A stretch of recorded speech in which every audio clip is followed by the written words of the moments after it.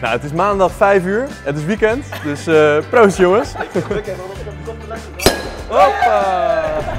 Ondernemerschap. Iets wat bij ons van kleins af aan al door de aderen giert. Als brugpiepers begonnen we onze eerste bedrijfjes. Joep, een konijnenfokkerij en ik, Thijs, een drumschool. Vol geloven in je eigen idee. En nog belangrijker, scheid hebben en gaan. Daar houden wij van. En daarom bezoeken wij in deze serie onze bondgenoten. Zij die met niets begonnen zijn, maar door anders te denken, te durven en stevast die droom te blijven volgen, succesvol zijn geworden. Geniet en leer van deze bazen in de business.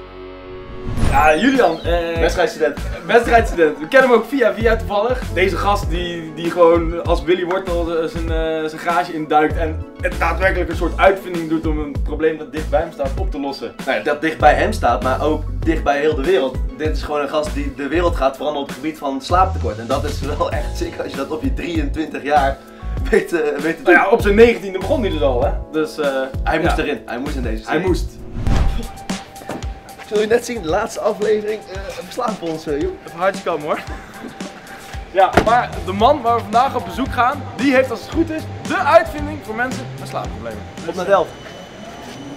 Als je het presteert om op je 23ste bij Oprah Winfrey in bed te belanden, dan ben je een hele grote speler. Julian Jachtenberg, die is het gelukt. Toen hij merkte dat de levenskwaliteit van dierbare personen achteruit ging door slapeloosheid, nam hij het heft in eigen hand. Op zijn 19e begon de student robotica met het ontwikkelen van een slaaprobot. Inmiddels hebben duizenden mensen over de hele wereld een Somnox-exemplaar. En nog belangrijker, ze slapen weer. Mijn naam is Julian Jachtenberg en ik ben een van de oprichters van Somnox. Dat is een start-up die zich bezighoudt met de wereld beter helpen slapen middels robotica. Wat ik zo mooi vind aan dingen uitvinden is dat je eigenlijk van niets iets kan maken. Dus met uh, huistuin en keukengereedschap en dingen die bij mijn moeder in de la liggen gewoon toffe dingen kan maken. En, uh, bijvoorbeeld ik maakte altijd van die raketten uit colaflessen die je dan 50 meter de lucht uh, in kon schieten. Die dan soms ook een raampje intikten. Doordat ik op het internet er meer ging over opzoeken en ook andere uitvinders ontmoette die ook dingen maakten van ja, huistuin en keukengereedschap, begon ik ook steeds meer interesse te krijgen voor natuurkunde en wiskunde. Want het, het begon nut te krijgen. Hè? Want doordat je een beetje een berekening kon doen, kon die raket nog hoger de lucht in. En dat als gegeven maakte dat ik ja, op, op de middelbare school al heel snel dat profiel koos. En uiteindelijk ook voor de universiteit, uh, Technische Universiteit Delft heb gekozen. Daar kwamen ook andere uitvindingen vandaan als de, de zonneauto en uh, de stormparaplu. Dus ja, daar moest ik heen. En uh, daar heb ik toen industrieel ontwerp gestudeerd. de uitvindersopleiding zou ik willen zeggen. En vervolgens in mijn master robotica gedaan. Julian is een strebertje. Hij wil alles uit zijn studie en het leven halen. En niet alleen uit zijn leven, maar ook uit die van anderen. Het raakte hem dat de levenskwaliteit van onder andere zijn moeder achteruit ging door slaapproblemen. Dus besloot hij om met alles wat hij geleerd had een passende uitvinding te creëren. En toen der tijd uh, wilde ik eigenlijk, of zag ik dat in mijn familie mensen heel erg slecht sliepen. Zo slecht dat je gewoon ja, gedurende de dag niet goed kan functioneren. Vond ik zo heftig om te zien zeg maar, dat zoiets simpels, zou je zeggen, als slaap, zoveel impact kon hebben op uh, ja, mensen zoals als mijn moeder en, en anderen uh, in, in mijn kringen. Dus ik dacht, ja, kan ik dat misschien oplossen met mijn robotica kennis? Het principe wat we vonden was een, een paper die stelde dat als je een, een ander levend wezen vasthoudt, hè, dat er iets heel bijzonders plaatsvindt. Namelijk een synchronisatie van de ademhaling en de hartslag. En waarom is dat interessant? Omdat als je je ademhaling onbewust kan beïnvloeden, dan kan je dus ook iemands hartslag onbewust beïnvloeden en daarmee ook hoe gestrest hij of zij zich voelt. En dat begon allemaal in de kelder uh, in de TU Delft, waarbij we nou ja, met de restmaterialen die er waren en wat 3D-printers de eerste prototypes hebben gemaakt. Tot uh, in de late uurtjes nog op onze studentenkamers moesten solderen. was een uh, mooi gezicht, zeg maar. Zaten we half op bed en dan moest het solderen tin. Dat, uh, nou, dat was niet volledig gezond, zeg maar. Dat zweefde de hele kamer door. De eerste waren veel te groot en maakten heel veel lawaai en was helemaal niks. Uh, maar daar leer je weer van, want hè, zodra we dat gaven aan mijn moeder, dan hoorde je ook heel snel van ja, dit is niet goed en dat kan beter. Maar juist door heel snel die feedback te kunnen krijgen van een echte gebruiker, konden we ja, aanpassingen doen en hem optimaliseren naar, naar wat echt de wens was van, van de gebruiker.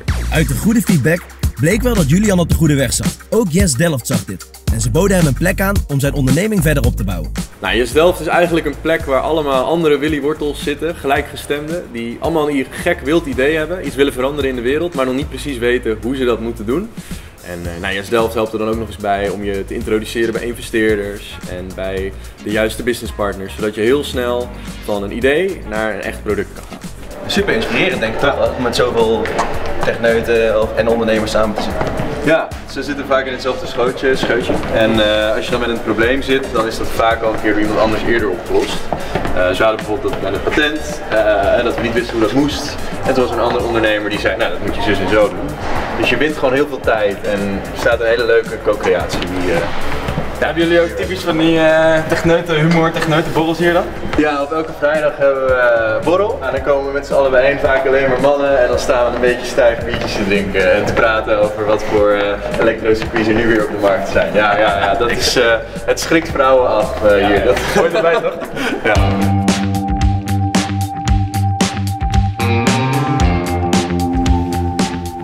Ja, dus dit is ons eh, kantoor. Hier, eh, hier gebeurt het. Ook zo vroeg al. Ook zo vroeg al, ja, ja zeker. Uitgerust en wel. gezellig. Wel goed volgepakt ook. eh. Ja, ja, ja. Het is eh, wat dat betreft nog steeds een beetje dat garagegevoel, denk ik. Dat we nu met ongeveer 23 man hier, eh, hier zitten. En ja, hier worden dus de, de robots ontwikkeld eigenlijk. Dus het programmeren gebeurt hier, de hardwareontwikkeling, maar ook de marketing en sales. En in 3,5 jaar zijn er ook nog, nou ja, natuurlijk de producenten in, in het buitenland. Maar mensen ook die op de winkelvloer staan. Dus ja, buiten die 25 man die hier werken, zijn er denk ik wel meer dan 100 die eh, ja, bijdragen aan, eh, aan die droom. Ja. Spe- Speaking of which, Somnox, wa- waar staat het eigenlijk in de hemelsnaam voor? Ja, somnox komt uit het Latijn, waarbij somno slaap betekent en nox nacht. Dus je krijgt eigenlijk een nacht vol met slaap. En de X die is van BMX, eh, eh, de robot waar het allemaal op is geïnspireerd. Dus je krijgt zo letterlijk een nacht met slaap door robots. Toch Ja. een beetje dat uh, nerdgehalte. of? Ja, die, het moet er wel eh, in het DNA zitten natuurlijk. Ja. Is, is het spannend soms?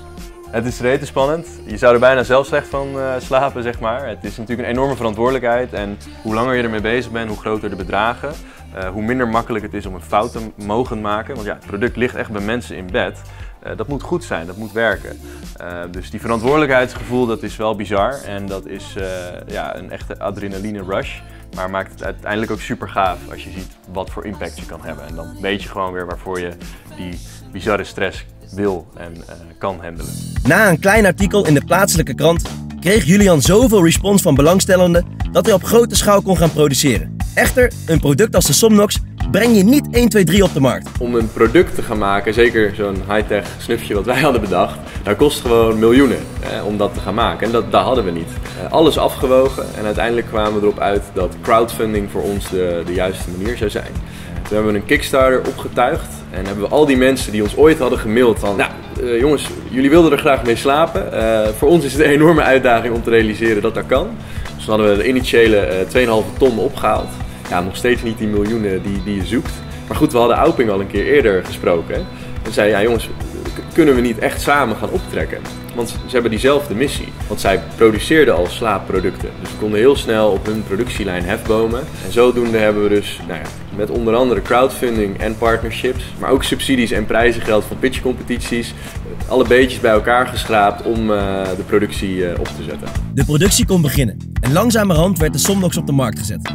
Het bleek een succes en wat hem echt raakte waren de vele berichten die hij binnenkreeg van tevreden en soms emotionele gebruikers. Het moment dat we echt dachten van, hey, we hebben echt iets hier in handen, we hebben echt goud in handen, was het moment dat je die verhalen terugkrijgt van mensen die het product hebben gebruikt. Dus we hadden bijvoorbeeld eh, pas geleden een eh, politieagent die getraumatiseerd was, daardoor elke nacht eigenlijk een nachtmerrie moest herbeleven, nauwelijks kon slapen. Eh, ook hij had alles geprobeerd, meditatie, yoga, medicatie, noem maar op. Nu hij de robot heeft, is het hem eindelijk weer in staat gesteld om, om, om door te slapen en, en weer in slaap te vallen. Toen we dat zagen, dat mensen ons ja, kaartjes gingen sturen van hun ervaring of zelfs filmpjes gingen maken. Ja, dat, dat is zo'n bizar gevoel dat je weet van wow, als we dit voor meerdere mensen eh, kunnen betekenen, dan moeten we daar met z'n allen volledig voor gaan. En is dat de reden waarom we elke dag eh, ons bed uitkomen. En het slaapsucces beperkt zich niet alleen tot Nederland. Er liggen er nu eh, ongeveer 3.500 eh, over de hele wereld. Dus ja, wat, wat ooit in, in de kelder aan de universiteit is begonnen, is nu iets wat in Amerika, Europa en Japan echt in de winkel ligt. Maar ook bij best wel wat bekende namen. Onder andere is op dit moment Oprah Winfrey met een van onze slaaprobots naar bed aan het gaan. Dus ik ben heel benieuwd naar de ervaringen van haar. Het is dichterbij dan je denkt. Eh, iedereen die dit kijkt, weet je wel, durf gewoon groot te denken. En eh, eh, eh, stuur het naar zo iemand op. Want vaak zit zo iemand in een derde kring uiteindelijk in je netwerk. Dat is heel bizar. Als zelfs Oprah met je robot slaapt, dan zit je niet verlegen om de publiciteit. En de grote hoeveelheid internationale kranten doet dit nog eens bevestigen. Waar we echt versteld van stonden was de hoeveelheid media-aandacht die we hebben gekregen met ons product. We zijn echt in de grootste bladen wereldwijd terechtgekomen. Hè? Dus uh, de Wall Street Journal, Wired, The Verge, The Times. Ja, dus niet alleen in Nederland, weet je wel, de Volkskrant en dergelijke, die ook al heel erg groot zijn. Maar ook gewoon op wereldwijde schaal uh, zijn er artikelen over ons geschreven. Dus we zagen zelfs pas in, uh, in de Times staan van de gadgets die Jeff Bezos zou gebruiken, de CEO van uh, Amazon, de meest rijke man op aarde. En er stond ons product dan tussen, zeg maar, dat hij die zou gebruiken. Dat weten we natuurlijk niet zeker. Maar het feit dat je in zo'n blad met zo'n man wordt ver vergeleken, een van de techgoden in, in, in onze scene, ja, dat, is wel, uh, dat geeft wel kippenvel. Ja. Als de baas van Amazon, de rijkste man ter wereld, jouw product heeft, dan ben je lekker bezig. Maar zoals een echte ondernemer betaamt, heeft ook Julian nog steeds zijn droom. Nou, onze, onze allerbelangrijkste droom is dat slaap eigenlijk toegankelijk is voor alles en iedereen. Dus dat iedereen weer goed kan slapen zonder dat daar bijwerkingen voor nodig zijn. Dan pas zijn wij klaar, dat is ons eindstation. Ja, wat we nu zien is dat die nog niet voor iedereen uh, betaalbaar is. Hè. Het product uh, de slaaprobot kost 600 euro. En dat is het zeker waard als het voor jou werkt. Dus daarom uh, bieden we ook een 30 nachten uitprobeergarantie uh, aan. Waarbij je dus 30 nachten kan uitproberen. En als dat niet, zo, uh, niet het effect heeft, dan krijg je gewoon je geld weer terug. Maar in de toekomst willen we bijvoorbeeld ook goedkopere versies aanbieden. Of dat je hem misschien kan leasen. Een sleep as a service. Waarbij je bijvoorbeeld voor een tientje per maand in de periode dat het voor jou even moeilijk is. dat wij jou de juiste tools aanbieden om weer die goede nachtrust te krijgen. Mijn advies aan alle andere Willy Wortels die dit kijken en die ook aspireren om uh, een, een, uitvinding die ze in hun garage hebben ook echt de wereld in te slingeren, is allereerst doe het gewoon. Uh, ik denk dat het heel erg spannend is om iets te laten zien aan de buitenwereld, maar ik denk door het te doen, naar buiten te gaan en te laten zien aan misschien je buurvrouw, is misschien wel de belangrijkste stap die heel veel mensen niet maken. Want een goed idee aan zich is helemaal niks waard. Het is uiteindelijk de uitvoering, de executie waar alle waarde in zit. Goede ondernemer is wat mij betreft iemand die een hele sterke visie heeft, duidelijk weet waar hij naartoe wil, dat goed weet te communiceren uh, aan de buitenwereld en daarmee de juiste mensen, partijen en het juiste geld aan zich kan binden en zich door niks en niemand laat uh, tegenhouden. En is het inmiddels al een beetje slapend rijk worden of uh, valt het tegen? Nou, we hebben de afgelopen 2,5 jaar of 3,5 jaar heel veel geïnvesteerd natuurlijk. We zijn net op de markt, dus het uh, duurt nog even voordat we break-even zijn, zoals ze dat dan uh, noemen. Het is nog even flink aanpoten om, uh, om die dingen te kunnen zien. Maar het is niet de ambitie dus om puur geld te verdienen, maar meer het oplossen van het probleem. Ja, nou, zeker niet zelfs, zeg maar. Het is, geld is belangrijk, hè? dat zou ik zeker niet ontkennen, maar het hoofddoel, de reden waarom wij doen wat we doen, is om mensen beter te helpen slapen. En geld is een middel om dat doel te bereiken. Ik denk als je als ondernemer start met ondernemen om geld te verdienen, dan ben je vanaf het begin af aan eigenlijk wel uh, de sjaak, want dat gaat gewoon niet lukken. Er moet een hoger doel zijn en in ons geval is dat mensen beter helpen slaan. En moet gevierd worden. Daarom hebben ze binnen Yes Delft de regel dat bij elke nieuwe mijlpaal een fles shampoo Lepopio mag opengetrokken worden. En dan schiet ons toch opeens een passende mijlpaal te binnen. Nou, het is maandag 5 uur, het is weekend, dus uh, proost jongens. Hoppa! Lekker ouwe, heb je vaker gedaan? Proost, maar ook uh, op dat er Oh, nog goed, uh, ja. veel meer successen gaat komen. Ja, ja, ja, zeker, zeker. Uh, echt, oprecht, Je kan wel zien dat je zeven keer geoefend had. Ja, ja, ja, het ging gelukkig goed. op jouw uh, mooie Hey, producten. dat we nog lang niet gaan uh, slapen vandaag. Nou, dat is, word je word je wel lekker wakker van, toch? Weet wel, een koffietje. 9 uur. Laat in de comments even weten of je dit een vette serie vond en of je het tof vindt als er een nieuw seizoen komt. Vergeet niet te abonneren, even een duimpje omhoog te doen en ons te volgen op social media. @bucketboystv. Geniet van het weekend en tot volgende week. Later!